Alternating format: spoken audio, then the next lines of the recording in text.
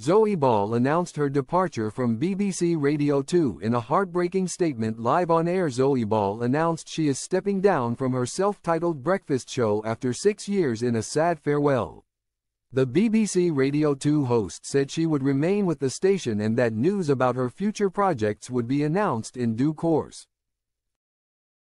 The 53-year-old confirmed the reason behind her exit was that she finally had enough of the 4 a.m. alarm calls and is hoping to lead a slower and more relaxed pace of life and to spend more time with her family. It comes after the broadcaster returned to her show after a lengthy absence, sparking concern among radio listeners.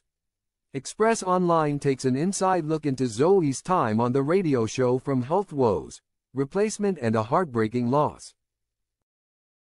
Diagnosed with attention deficit hyperactivity disorder, ADHD, last year, Zoe opened up about how the neurodevelopmental condition impacts concentration and behavior, leading to potential hyperactivity, restlessness, and sleep issues. She told the public about her condition towards the end of the year, revealing that her son Woody, whom she shares with her former husband Norman Cook, also has ADHD. I am ADHD. My son and I are both, we're quite similar. I make myself laugh sometimes, because if I am in a small space and I've got loads of tasks to do, I can cover so many miles. Adding that her brain was all over the shop. She told the mirror.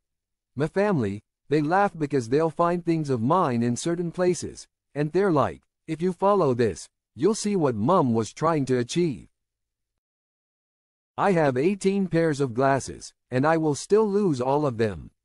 My brain is just all over the goddamn shop. Zoe chuckled. Earlier this year, Zoe suffered a meltdown while filming Taskmaster's New Year treat after she and fellow celeb guests Deborah Meaden, Kojey Radical, Lenny Rush, and Steve Backshall were given a task that involved timing, something that is not Zoe's strong suit.